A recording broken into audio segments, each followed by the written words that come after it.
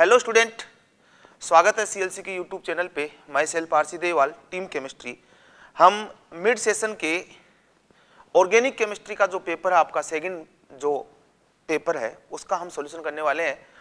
इसमें टॉपिक जो इन्वॉल्व हुए हैं, वो है नोमेनक्लेचर आइसोमेरिज्म और जीओसी होपफुली आपने पेपर अच्छे से किया होगा और जहाँ जहाँ आपको कमी नज़र आई है, आपकी, आप में जो कमी नज़र आई है, वो इस पेपर के सॉल्यूशन को देख के आप इंप्रूव कर सकते हैं। तो स्टार्ट करते हैं फ़र्स्ट क्वेश्चन से।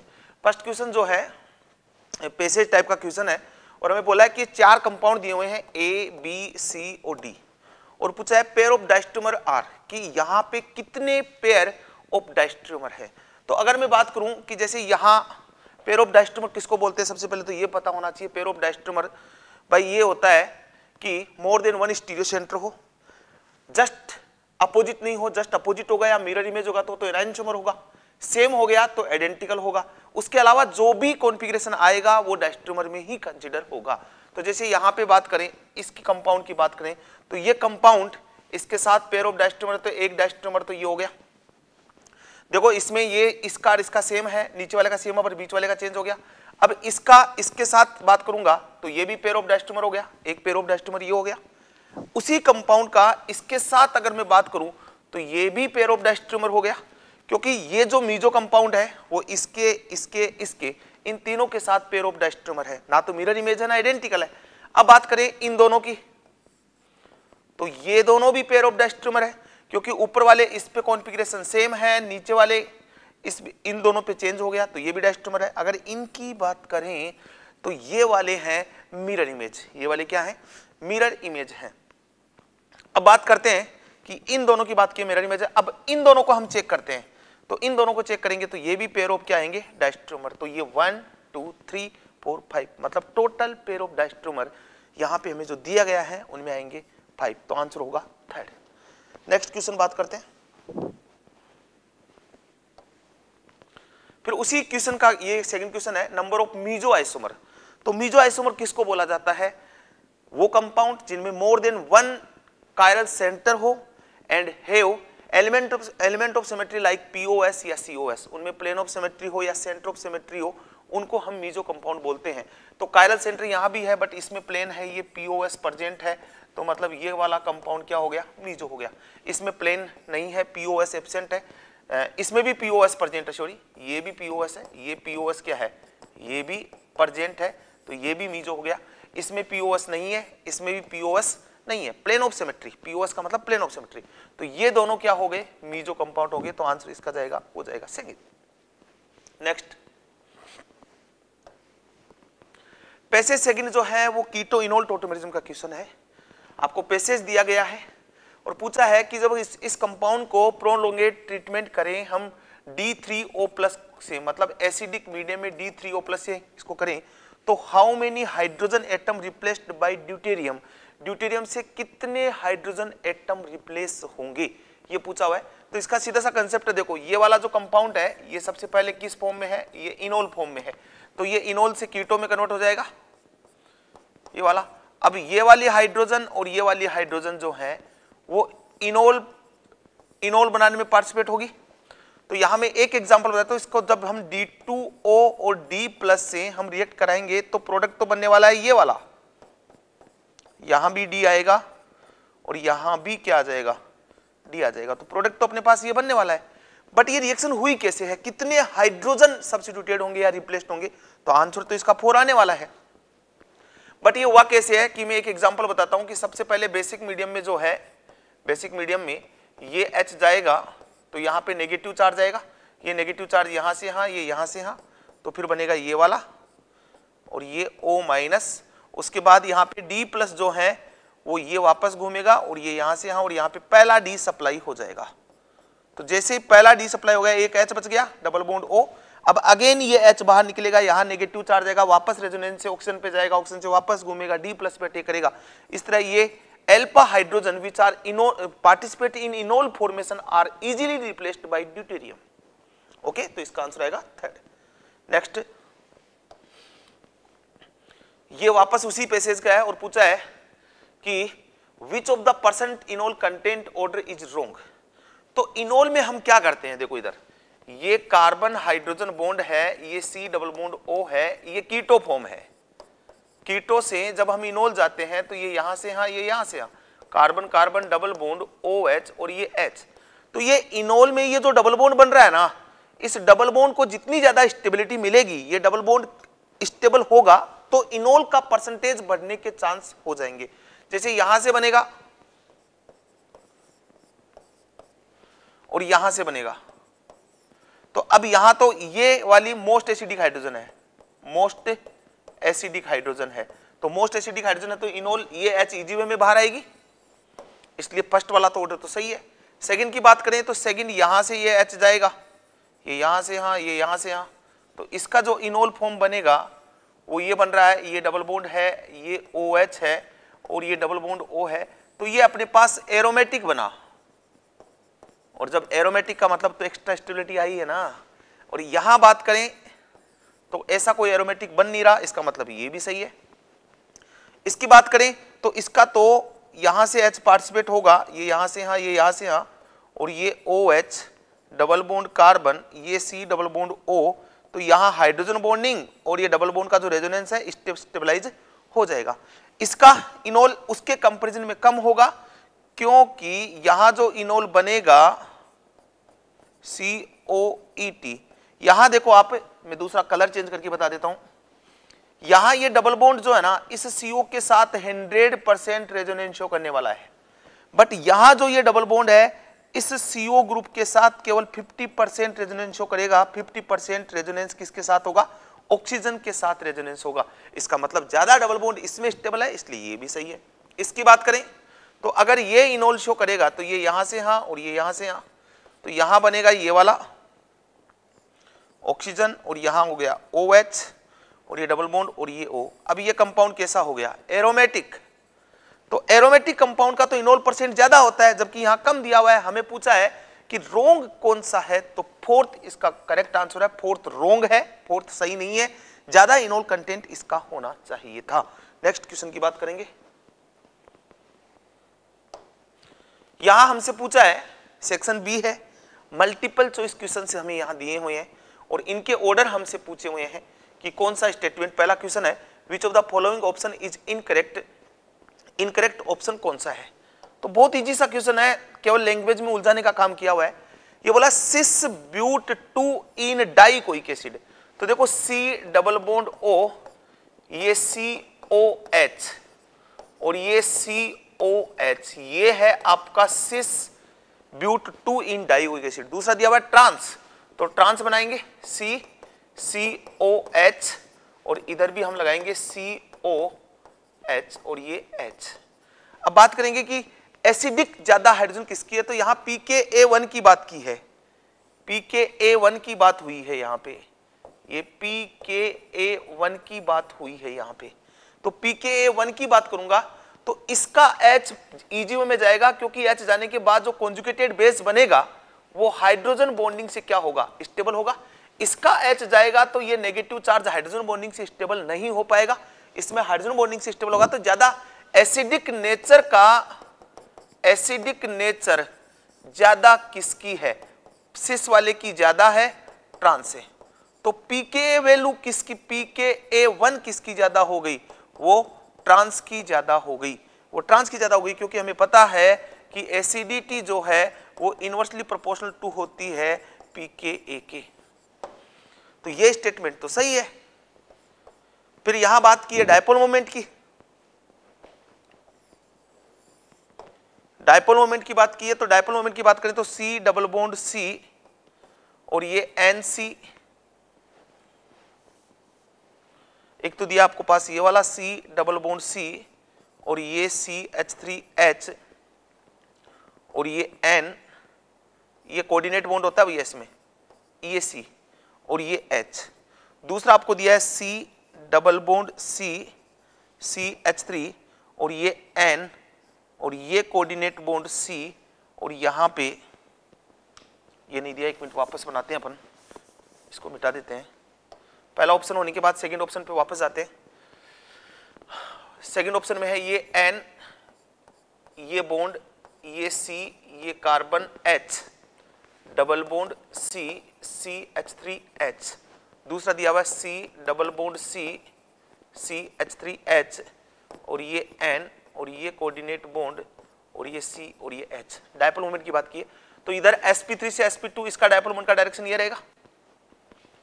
इधर लेस इलेक्ट्रॉनिक मोड इसका डायपोल मोमेंट का डायरेक्शन ये रहेगा। यहाँ डायपोल मोमेंट का डायरेक्शन ये वाला रहेगा, और इधर भी डायपोल मोमेंट का डायरेक्शन ये रहेगा। तो यहाँ डायपोल एक ही डायरेक्शन में लगाया पूरा। तो डेफिनेटली सेकेंड वाले का डायपोल मोमेंट ज़्यादा होगा।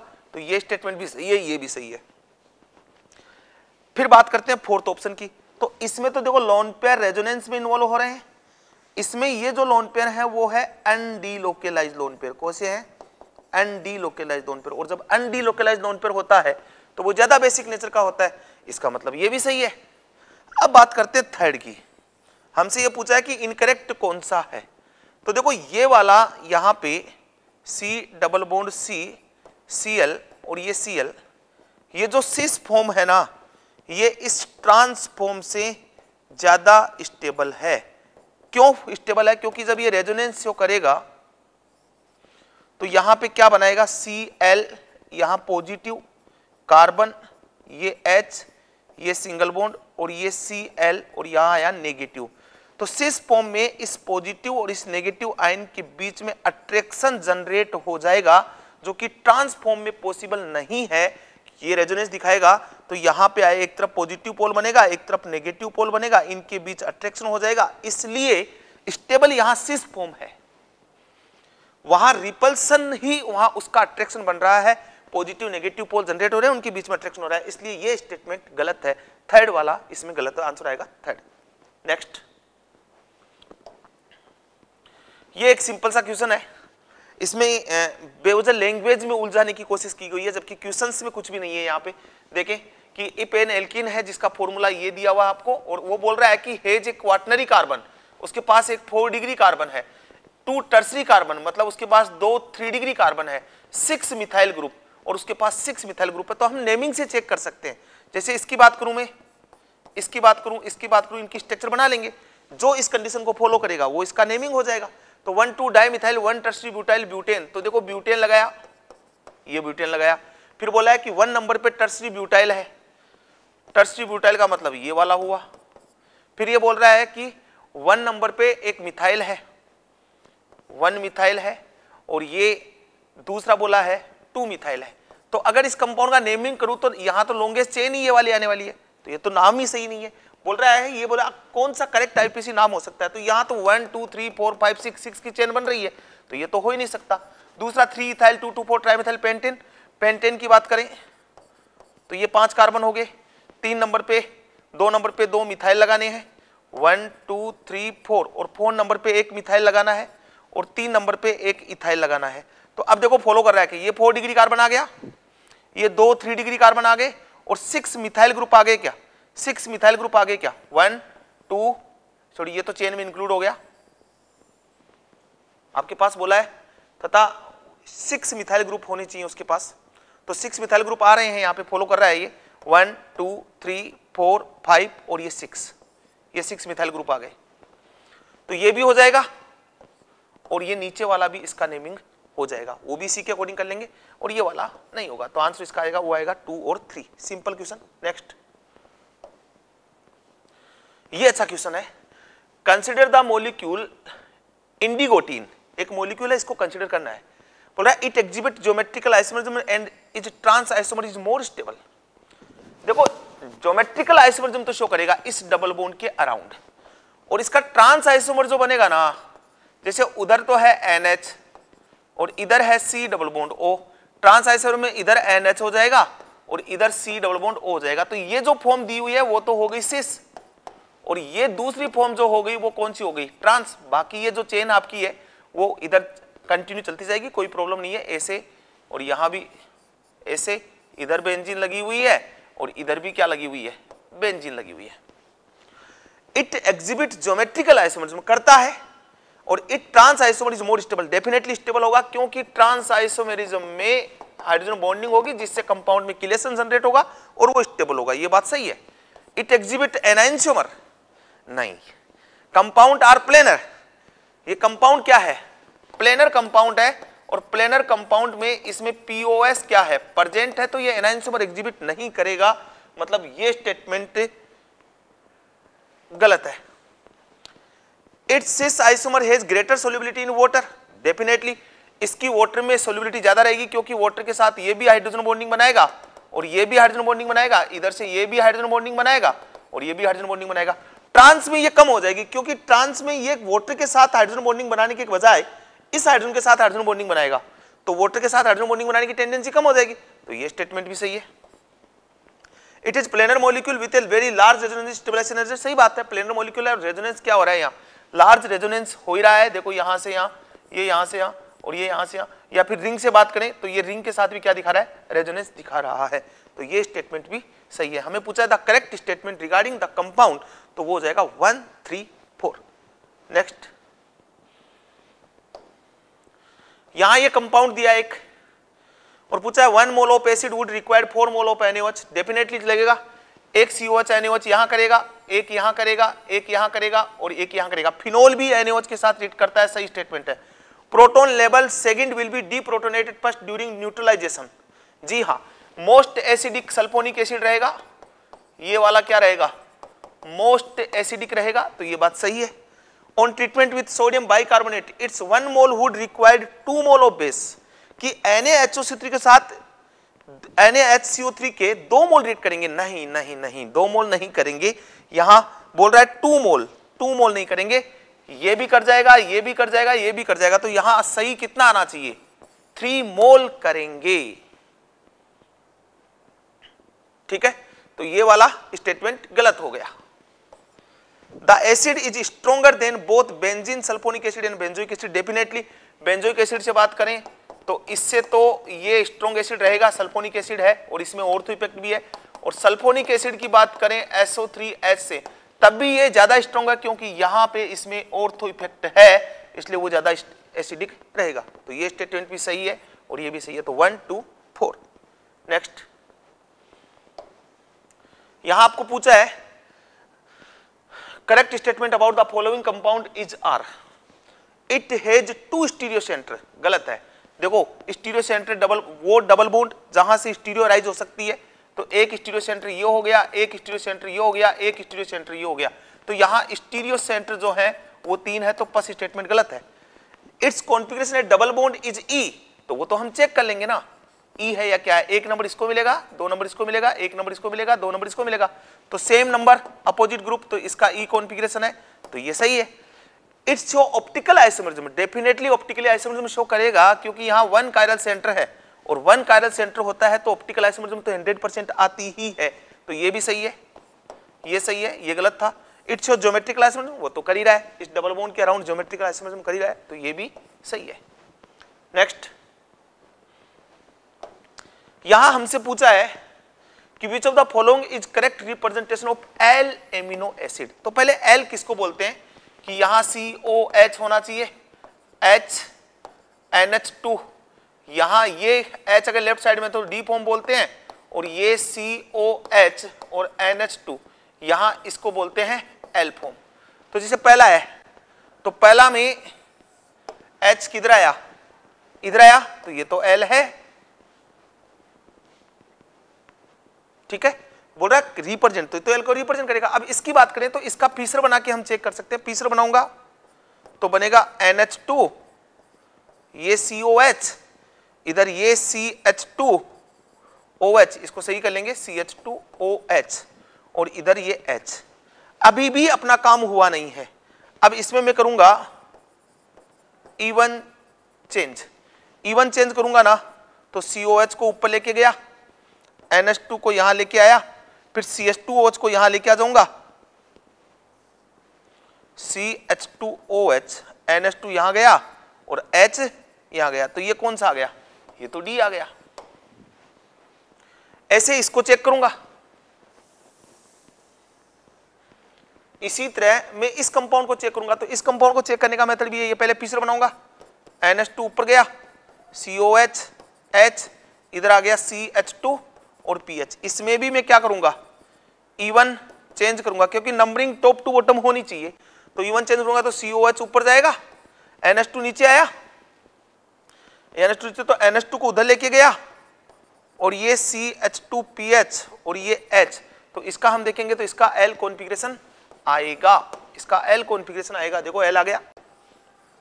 ऐसे ही सेम इसी वैसे इस लास्ट वाले ऑप्शन को कर लेंगे। लास्ट वाले लास्ट वाले ऑप्शन को करेंगे तो अपने पास सबसे पहले ये क्या दिया हुआ है? ये आपको दिया हुआ है स्टगर तो स्टगर से तो डायरेक्ट बनेगा नहीं। तो पहले मैं इसको ऐसे लेके जाऊँगा एच ओ एच ये एच और ये सी एच थ्री अब इसको मैंने रोटेट किया है तो एन एच टू इस पे आ गया और सी ओ एच इस पर चला गया। ये सी ओ एच इस पर चला गया। यहाँ रोटेट किया मैंने, इसके अराउंड रोटेट किया है एक्लिफ्ट बनाना है। अब मैं इसकी पीसर बनाऊँगा। तो ओ एच ऊपर गया, इधर आ गया सी एच थ्री इधर आ गया एच नीचे आपका आ गया एच और इधर आ गया आपके पास सी ओ एच और ये एन एच टू अब मैं इसको 180 से रोटेट करूँगा, क्योंकि सी ओ एच ग्रुप ऊपर चाहिए। तो 180 से रोटेट करूँगा। तो 180 से रोटेट करूँगा तो सी ओ एच एच ऊपर जाएगा। इसको हमने रोटेट कर दिया। ये सी ओ एच ये N H two O H इधर आ गया। इसको हमने रोटेट किया एच आ गया और ये सी एच थ्री आ गया। अब भी हमें यहाँ क्या करना पड़ेगा? इवन चेंज करना पड़ेगा। तो इवन चेंज करूँगा तो क्या आएगा देखे? ऊपर की तरफ़ कौन जाएगा? सी ओ एच ऊपर की तरफ़ जाएगा एच इधर आया, फिर एच इधर, फिर एन एच टू इधर। तो यहाँ पे अगर हम देखेंगे तो ये भी कौन सा कॉन्फ़िगरेशन आएगा?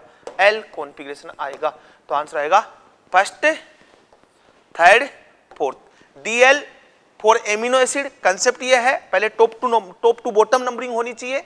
और अगर हमें minimum number of chiral centre पे देखना है एच और एन एच टू का कॉन्फ़िगरेशन नेक्स्ट इसके बाद आता है section D pure two chlorobutane give how many different di chlorobutane बोला, प्योर है, टू क्लोरोब्यूटेन। तो ये बहुत सिंपल सा क्वेश्चन है, देखो इधर। ये टू क्लोरोब्यूटेन लगा हुआ है, ये वाला। ठीक है? तो ये प्योर है, हंड्रेड परसेंट है, ये प्लस दिया हुआ है हंड्रेड परसेंट। तो मतलब इस अराउंड, इस सेंटर कॉन्फ़िगरेशन आपको क्या रखना है? फिक्स रखना है। तो देखो, एक तो यहाँ आ जाएगा।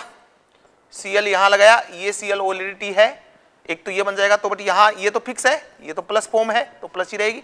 फिर दूसरा फॉर्म ये सी एल यहाँ और ये सी एल यहाँ, एक फॉर्म ये बन जाएगा, एक फॉर्म ये बना। फिर दूसरा यहाँ तो यहाँ वाला सी एल तो ये तो प्लस फॉर्म में है बट यहाँ सी एल आएगा, वो नया कायरल सेंटर जनरेट हुआ। तो इस प्लस के साथ ये प्लस आ सकता है, उस प्लस के साथ ये माइनस आ सकता है। तो यहाँ से कितने बनेंगे? दो बनेंगे। और उसके बाद यहाँ से ये सी एल फिक्स है और एक यहाँ ये वाला बन जाएगा। तो कितने आए? वन, टू टू, फोर और एक, फाइव। तो आंसर आएगा ज़ीरो ज़ीरो, फाइव। नेक्स्ट ये बहुत ही सिंपल सा क्वेश्चन है और थोड़ा सा इसमें दिमाग लगाने की ज़रूरत है और बाकी क्वेश्चन में कुछ नहीं है। बोल रहा है कि C two F C L B R और बोल रहा है कि इसके ओल आइसोमर लेने हैं। एच टू निकल से रिएक्ट करेगा तो अक्स बनेगा अक्स एक्सक्लूडिंग स्टीरियो आइसोमरिज्म तो उसके टोटल आइसोमर कितने बन रहे हैं? डबल बॉन्ड हमें आना चाहिए, तभी रिएक्शन आगे पॉसिबल हो पाएगी। तो वहाँ पे देखो कार्बन कार्बन एक बार मैंने फ्लोरीन और क्लोरीन को साथ रखा तो इधर बी आर और आई आ गया। फिर मैंने इधर यहाँ पे कार्बन फ्लोरीन के साथ बी आर को रखा तो उधर सी एल और आई बच गए। फिर मैंने कार्बन और इसके साथ मैंने रखा बी आर और आई को रख लिया मैंने। एप के साथ मैंने किसको रखा? आई को रखा। तो उधर आपके पास आगे सी एल और बी आर अब ये इसके दो आइसोमर बनेंगे। एक ई e, जेड इसके भी दो बनेंगे। ई e, जेड इसके भी दो बनेंगे। एक ई e और एक जेड अब इसकी निकिल एच टू से रिएक्शन कराओगे तो ई और जेड सेम ही प्रोडक्ट देंगे। क्योंकि हमें स्टीरियो तो कंसिडर करनी नहीं है ना। तो यहाँ पे एक ही प्रोडक्ट बनेगा। इसके दोनों फॉर्म ई और जेड एक ही प्रोडक्ट देंगे। इसका भी ई और जेड एक ही प्रोडक्ट देगा निकिल एच टू से। इसका भी ई जेड एक ही प्रोडक्ट देगा। मतलब इस फॉर्मूले के आइसोमर तो सिक्स बन रहे हैं। बट ई और जेड निकिल एच टू के साथ प्रोडक्ट एक ही टाइप का देंगे एक्सक्लूडिंग स्टीरियो फिर तो यहाँ से तो अपने पास इस अक्स की वैल्यू तो आई है कितनी? तीन। अब ये बोला है, दूसरा बोला है C four H eight ol isomer तो सी फोर एच एट का एक ये बन गया। एक ये बन गया। और एक बन गया ये वाला। ये तो हो गया सिस। और इसी का मैं बना लेता हूँ ट्रांस। अब इससे जो प्रोडक्ट बनेगा और इन दोनों से जो प्रोडक्ट बनेगा, निकिल H2 से तो वो बनेगा एन ब्यूटेन। और इससे जो प्रोडक्ट बनेगा, वो बनेगा आइसोब्यूटेन, निकिल H2 से। तो इससे कितने प्रोडक्ट बन रहे हैं? सॉरी टू प्रोडक्ट बन रहे हैं।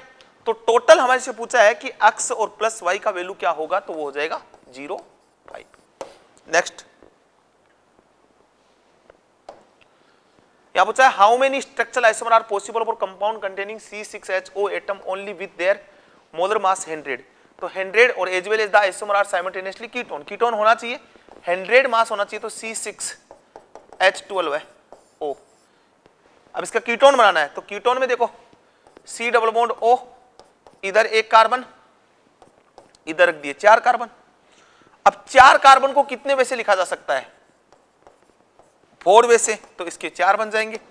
फिर सी ओ इधर दो कार्बन और इधर तीन कार्बन अब तीन कार्बन को कितने वे से लिखा जा सकता है?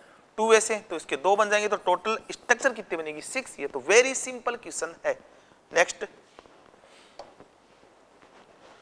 ये लो। In how many of the following at least one of the CO bond is weaker than the CO bond in acid aldehyde in how many of the following at least one CO bond is weaker CO bond weaker होना चाहिए than acid L D Ed तो acid L D Ed तो ये वाला हो गया। अब देखो, इसमें देखो।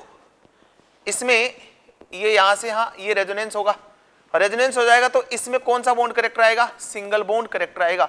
तो इसमें वीक होगा। इसकी बात करें तो ये यहाँ से यहाँ जाएगा तो सीओ बॉन्ड इसमें भी डबल बॉन्ड में कौन से बॉन्ड करेक्टर आ रहे हैं? सिंगल बॉन्ड करेक्टर तो ये भी होगा। इसमें बात करेंगे तो यहाँ तो रेजोनेंस से इसमें ट्रिपल बॉन्ड करेक्टर आ रहे हैं तो ये तो बॉन्ड उससे स्ट्रॉन्ग हो गया। तो ये नहीं आएगा। इसमें बात करें तो ये ऑक्सीजन हुआ। तो यहाँ भी रेजोनेंस हो रहा है। समझ में आ रही बात? यहाँ भी रेजोनेंस हो रहा है या फिर ये इधर से इधर जा सकता है? तो यहाँ पे इस बॉन्ड पे कोई इफ़ेक्ट नहीं आ रहा तो ये नहीं होगा। फिर इसकी बात करें तो ये यहाँ से यहाँ और ये यहाँ से यहाँ तो इसमें भी कौन सा करेक्टर आ रहा है? सिंगल बॉन्ड करेक्टर आ रहा है तो ये भी वीक हो गया। CO3 थ्री माइनस टू तो इसमें देखो आप CO3 थ्री माइनस टू में इसमें भी रेजोनेंस से इस बॉन्ड के अराउंड सिंगल बॉन्ड करेक्टर आ रहा है तो ये भी वीक हो जाएगा। NCO की बात करें तो C double bond O double bond N negative ये यहाँ से यहाँ और ये यहाँ से तो इसमें भी कौन सा करेक्टर आ रहा है? सिंगल बॉन्ड करेक्टर आ रहा है। सिंगल बॉन्ड करेक्टर आया तो बॉन्ड अपना वीक होगा। तो सिंगल बॉन्ड की बात करें तो एक इसमें आ गया। One two three four five मतलब अपने पास फाइव जगह सिंगल बॉन्ड करेक्टर आ चुका है। एक यहाँ पे आ गया, एक यहाँ पे आ गया, एक यहाँ पे आ गया। और एक दो यहाँ पे आ गए one two three four five तो आंसर आएगा ज़ीरो ज़ीरो फाइव ठीक है? चलो नेक्स्ट